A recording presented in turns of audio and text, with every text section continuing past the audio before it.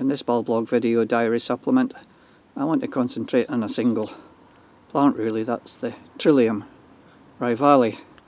It's one of my favourites of the Trilliums. In fact some people are taking it out of Trillium now but as far as I'm concerned I'm just going to keep calling it what I've always called it and that's Trillium rivale. And it's the variation you get. This is in this frame you can see there's a basket of seeds there and there's another one there and another one here. And we get all the variations of course. That's not that's a hepatica I got in amongst this one. But it's the variation you get in the seedlings. Pretty ones with pink lines. Here's one that's almost pure white. Down here just coming out look there's two more variations. Both different. Up here again more variations. And so we get these variations and we come round in the frame, these will get planted out. So these are seeds from our own garden and built up and just lovely variations. And sometimes I don't get this all the gather all the seed and, and look at all the seedlings there. I've got more baskets of seed that I gathered and what I'll tend to do is gather seed from some of the nicer ones. There's it beside Trillium hibbersonii to show you the the two of the very small trilliums that are ideal and very good, easy to grow in our conditions. You just have to pick the right spot in the garden to enjoy them.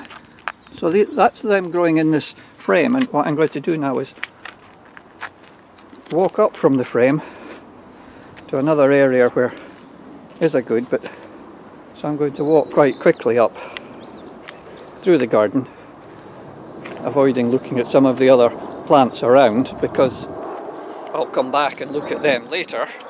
I'm going to come up here. There's an aeroplane flying overhead. Somebody away to sunny climates. I want to come up to the the wall here at the top of the garden where we've got the pine tree because this is another wall that I'm establishing the Trillium rivale on. It's, it's an ideal situation. It's raised up. It's in partial shade for some of the day, which all our gardens in shade some of the day. And it, it's raised up so we can enjoy seeing these plants at a greater height. So it's up the wall. But what I did was I, the other year I planted out a heap of seedlings and they've seeded, they're self-seeding there but I want them to seed all the way down the face of the wall and as you look you can see them. Here's one down here. Playing with light and shade here it's a bit awkward. But there's one flowering.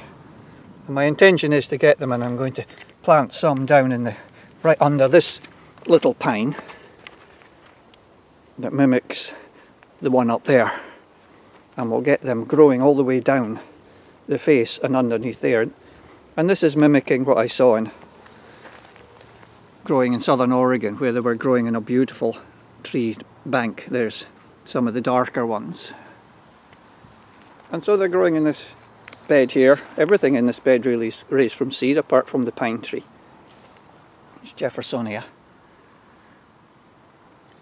Jeffersonia dubia. There's another Jeffersonia over there erythroniums of various kinds, mostly revolutum here.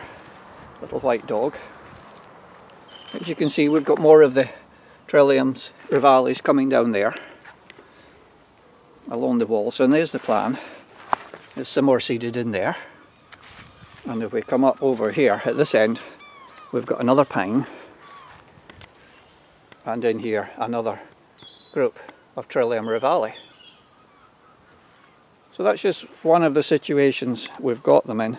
We've got them on the other raised walls, on other raised beds. They're ideal for that.